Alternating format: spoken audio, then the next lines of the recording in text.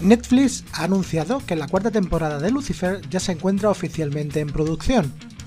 Una gran noticia para los miles de seguidores en todo el mundo que consiguieron que la distribuidora de streaming acogiera en su seno al personaje de Vértigo.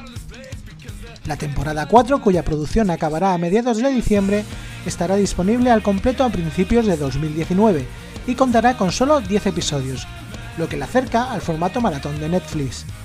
¿Será una temporada final o un nuevo inicio para Lucifer y compañía?